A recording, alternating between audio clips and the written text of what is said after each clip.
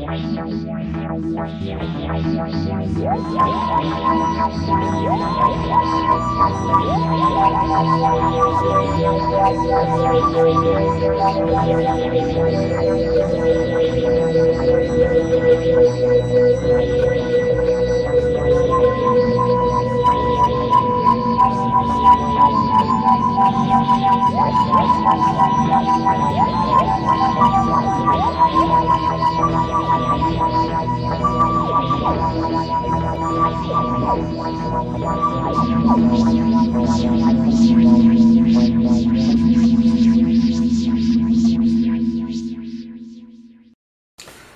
morning, everybody. Time to do a quick hello uh, before my ride gets here. I'm on my way to church right now. Let's give you the time and date stamp. Uh, it is 7 hours and 18 minutes into the day of Sunday, March 16th, 2014. And happy birthday to my brother. That's right, it's his birthday today, and happy birthday to anyone else who celebrates on the 16th of March. Oh, it's been another one of those, uh, well, see, it's always been another one of those days. Right? It's always another one of those days. It's, always like that. uh, I'm still in my oscillating sleep pattern. That means I can't sleep for too long, but when I'm up, uh, I feel like I need to go back to bed again within half hour, 45 minutes. So that's kind of, that's what we call oscillating sleep. Uh, I'm still kind of in that pattern, although the length of time I'm sleeping seems to be getting longer. So we'll see what happens tomorrow.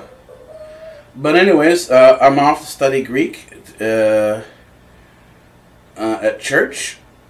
That's about uh, four or five hours there. And then I'll be back to see if I can sleep in the afternoon. And I've decided to put off most of the work until the evening. And that way we'll get back on schedule again. Try to get back on schedule again. And try some new stuff uh, in this BTS vlog that uh, I haven't tried before. We'll do some new stuff with the music studio. We'll do some new stuff back at the warehouse. We'll see how that works out. We'll, you know, that's that's the goal, anyways. And I'm trying. I'm thinking of it. I'm gonna try to do some filming in the uh, kitchen, the uh, kitchen diner. So we'll see what happens there. In other words, these things are all more or less ready to go. There is some are some issues, but uh, if I can get most of these issues resolved within the next two days, with or between today and tomorrow, then then uh, we'll be all right to do the filming. So, uh, yay for that. Uh, uh, what else is there today? Um, I still got to do the finish the work on the DNS. I got to do the uh, DNS configuration files. I did a little bit of that last night, a little more of it, but there's still a lot more to. I think there's another day's worth of work to do.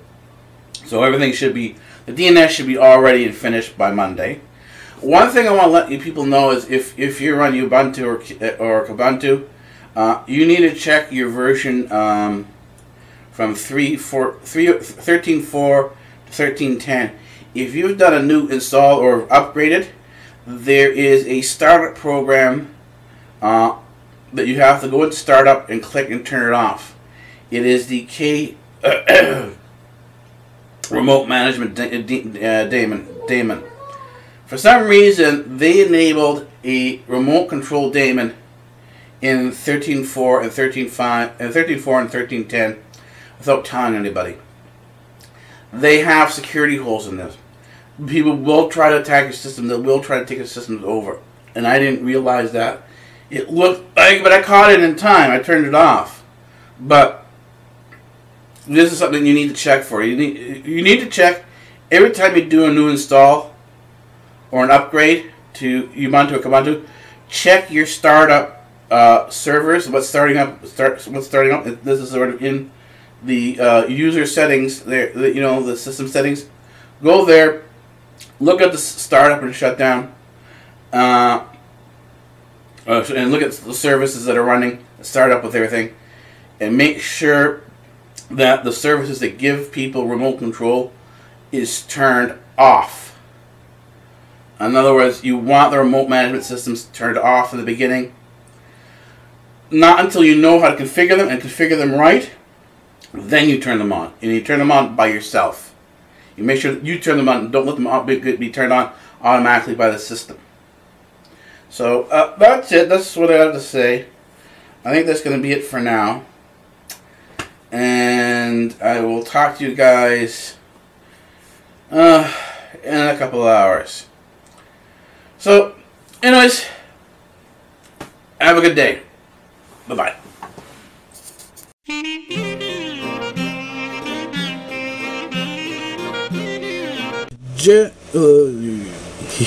Sorry. It is just about midday, and uh, I was supposed to vlog earlier in the morning at the back in the back room on the couch, but uh, that's not the kind of day it is today. The kind of day it is today is um, uh, a little one of the well, it's it's our it's our typical things always pop up at, in, the, in the un, at the unusual times, and uh, it kind of screws everything up. So um, let me give you the date and time stamp for the time and date stamp. It is 14 hours and 44 minutes into the day of Monday, March 17th, 2014. And because we're doing a midday vlog, we're going to do an end of the day vlog. Hopefully. Uh, what happened was, and this this is one of the reasons why you have to be here all the time. Normally, you know, computers do do work on, on, on average pretty good. They work they run pretty well. But you do have to occasionally get up in the middle of the night and take care of something that goes wrong. So last night around four or five o'clock in the morning, I got up to have something to drink. I noticed there was something wrong with the network. Went to check the main uh, part of the network, the, the, part of the network that sort of brings everything in and, and spreads it out. That's the router. And notice the router was down, was disconnected from the internet. So I went around, checked everything, made sure all the connections were tight, and then rebooted the router. That brought, brought everything back up. That took about 45 minutes. It took about 45 minutes to sort of check everything, make sure everything was working properly. It took about 45 minutes to sort of uh, reboot the router and get everything back online properly the way it should be, and to check to make sure that everything was okay. And then I went back to bed, but that means uh, I didn't get to bed till about uh, 5:30, and I ended up uh, waking up about 10:30.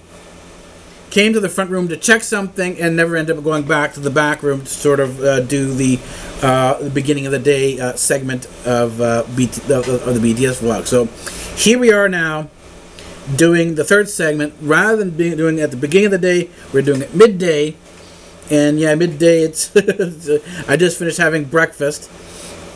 Uh, and it's uh, uh, it's uh, just about quarter to three uh, quarter to three in the afternoon. It's about uh, it's 2.45 p.m so that's kind of how things are going. Uh, i have been doing more work uh, let's talk about the uh, Beauty and the Geek show. Uh, the Beauty and the Geek show is, is moving along. I am retooling it, reschedule and sort of re, re, rejigging it. What I decided to do uh, is, as, and this has to do with with uh, the uh, segment, the first segment, might call my style. as I'm building the the design sewing room back back behind you what ended up happening, we started realizing as I was watching more of the stuff on on uh, on Japanese style, because most of the style that come that I get from, that I like comes from the uh, Japanese uh, influence of kawaii, which is in Harajuku.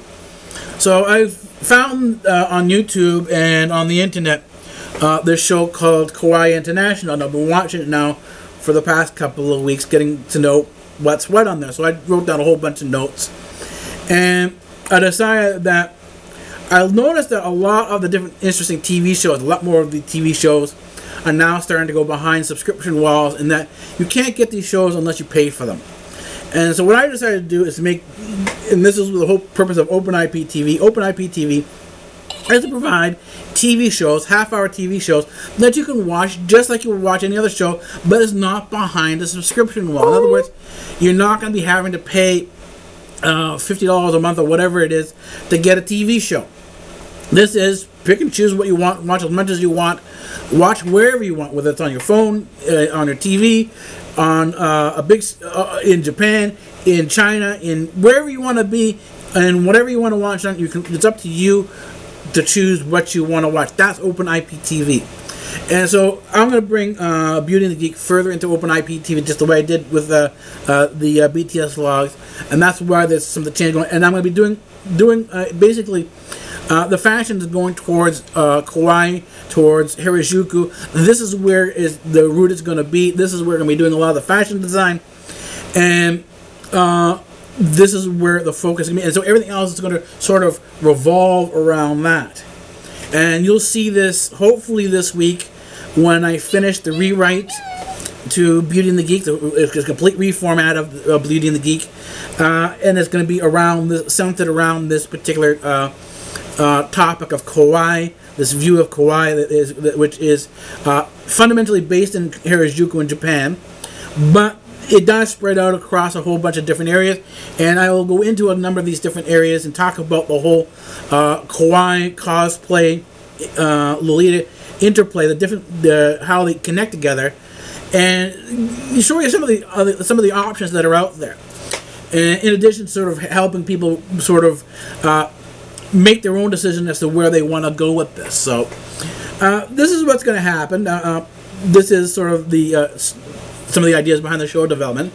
I have a project in the back uh, on uh, in the machine shop warehouse that is kind of stalled right now. I've been tired over the weekend, so I haven't been able to do much of the cleaning over the weekend. So that means hopefully later on tonight I can start doing some more cleaning and fix it up so I can do some shooting behind there uh, in, in, the back warehouse tomorrow.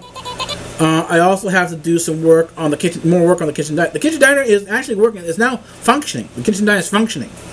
It's now a matter of getting a matter of getting it uh, photograph ready, photograph ready so that I can film back there, and that's what's sort of left to do. And that's about a week to two weeks worth of work. And so within a week to two weeks, we should be filming back. We should be filming back in the kitchen diner. So that will be uh, good as well. I also have some new uh, options for the music studio. I'll be doing something like covers in karaoke in the music studio. And I'm working on a setup now that will allow me to do that.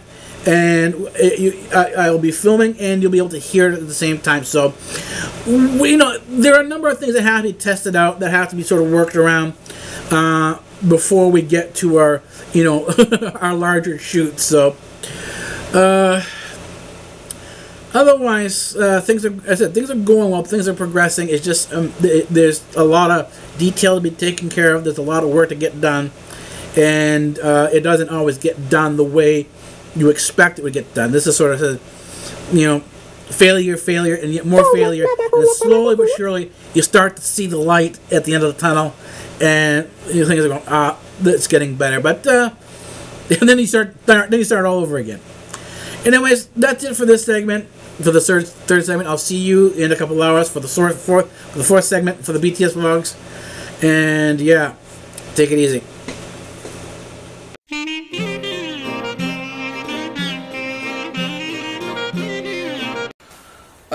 Good morning, everybody. Yeah, it's time to start another day, and, uh, and it's also the last segment of this series of BTS vlogs. I think it's from let me get the calendar up here. It's from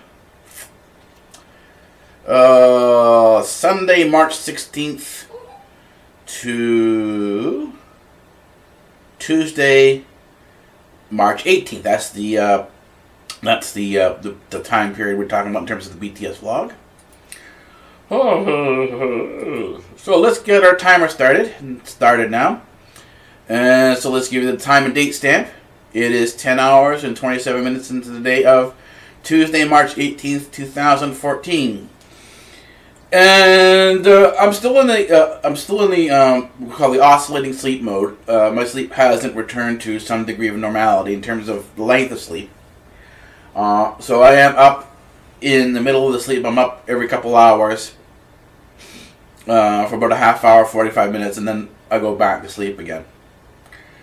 Uh, it's a bizarre schedule like that. It, it really does make your day a very bizarre, you know, in terms of its, it, in terms of the way it feels. Uh, but you do at some point in time get used to it. You do get used to the fatigue. You do get used to uh, how you feel, and you sort of plod along until you start feeling better. And that usually hits. That usually today, tomorrow, like when Tuesday, Wednesday, Thursday will be the peak uh, and I should be able to even move uh, into Friday with the peak still. Uh, and then you start trailing off again from fr- from Friday. Friday is when you start trailing off, uh, and you hit your bottom. Um, I hit my bottom anyways. Uh, just around Sunday Sunday uh, afternoon, I hit my bottom, hit my low, and it takes me a couple days to sort of pick back up again and. start the week all over again, start the cycle all over again. Uh, anyways, uh, I've got a lot scheduled for today. Let's see what I can get done. I did more work on the DNS server last yesterday. I did more work on Beauty and the Geek. I said I'm going to completely retool Beauty and the Geek. Uh, now that we are, we've been off for these last couple of weeks anyway. You know, for we've been off for a good month, so I'm gonna really retool Beauty and the Geek realize I can bring some of the stuff I'm doing on Beauty and the Geek into here, just the way I did uh, for this vlog and other things. Because this this this show here, the segment of uh, of of uh, Big Bang Theory RL, Big Bang Theory RL is the entire show. This segment of of Big Bang Theory RL, known as BTS Vlog, BTS stands for Behind the Scenes. So because it's behind the scenes vlog, I can bring in a lot of the stuff that I'm working on for Beauty and the Geek into here, just the way I've done for everything else, you know. And that's what I've started to do is I started bringing more of the shows that are in development and the shows that are, are in season zero. I'm starting to bring them more into here. That gives us more content to work with, and we can have more to talk about and makes it more interesting. So. Uh, that's what's happening with Beauty and the Geek. It's also uh, I'm still working on the uh, the design room, the sewing and design room. That means I also have to be working on the uh, machine shop warehouse. Uh, it is not exactly in filming state just yet. I should have that done where we actually might be able to film something uh, sometime today or tomorrow. Uh, we'll see how that works out to see you know how these how the vlogs go. We'll see how much content we can get in here. Uh, and as I said, with Beauty and the Geek, I'm heading towards uh, more of a Kawaii Harajuku uh, format uh, that I saw on YouTube. That I saw the show on YouTube that I liked called Kawaii International. It's from NHK NHK World. I like the show, and I think I'm going to sort of uh, move my show in that direction. The reason being is that most of the shows that I've seen on, on that I liked in terms of the fashion shows are now all locked up behind subscriptions. It's very difficult to get them. Uh, and I've I, I, I can only see part of these shows because uh, the opening series or opening beginning of the series uh, where the show wasn't known that well, they left it open to the public. Now the show is no more and it's closed off to the public. You can't get it anymore. So my thing is is that Beauty and the Geek is starting off open to the public. It's going to stay open to the public no matter how popular it gets. I'm never going to be moving the content that I develop here behind a subscription wall. It will always be open on YouTube. You'll always be able to view it wherever you want to be, wherever you are. You're not going to have to be geographically restricted in terms of what you see, in terms of American content. Uh, you know, I want my open IPTV TV, my open IPTV to be as open as possible to give you the choices of what you want to watch, when you want to watch it, and how you want to watch it. So this is the, this is where all these things are going to go. These are the different things I have to sort of work out uh, and how to put different content here, content in here, make it palatable so that it's like watching a regular TV show that you're not watching something that's well hokey. I know it's a bit hokey, but you know, for those of you who are old enough uh, to remember UHF. Well, this is how things are to start. This, this is to be starting starting off as a UF as a, a UF uh, UHF channel. You know, this is the way it starts off. It's something that's home home brewed. It's not fancy. It's not big, uh, like a Hollywood production. Uh, th- and this is what UHF. UHF were, were uh, the uh, in, the early tele- in, the early TV days before cable. UHF was where all the channels that uh, weren't big channels; they were small channels. That's where they all were. The main channels were all on. There were 13 of them, and they were all fighting for space on the third big 13 dials, the big 13 channels uh, between uh, on the something known as VHF. That's very high frequency. Uh, that's where all the popular channels were. All the major channels were on VHF. If you were a sub channel or, or a small channel, you'd be on UHF. This is again, this is before cable. So if you want to go, you know, if you if you're younger and don't know about this, go into Google and Google UHF, and you'll find out from UHF. And it's you're talking about TV channels now, and, UHF stands for high frequency. You know, uh, uh, UHF stands for ultra high frequency. That's what it stands for, ultra high frequency. And you're talking about TV channels, so you you can do. If it doesn't give you a good good enough, just doing UHF, do UHF TV channels, and you do that. You, you're not going to find anything current, but you will find is you'll find a lot of history behind it. And this is how you can compare YouTube and Open TV to uh, UHF, the UH, UHF, UHF channels. Anyways, uh, our time is up, and this is it for our last segment. I will see you in a couple hours for the next uh, BTS vlog that will take us. Ah, well, I have no idea how long it's going to take. It'll be one or two days. We'll see how it works out. Depends on how much content we can actually get in here. Okay, Bye bye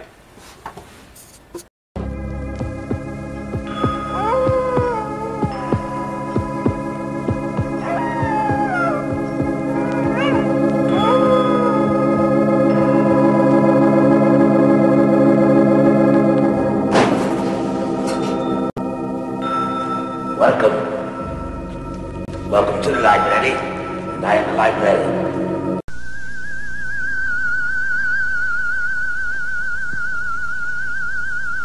I am the professor. And professor of what? Professor of physics. Oh, say, can you see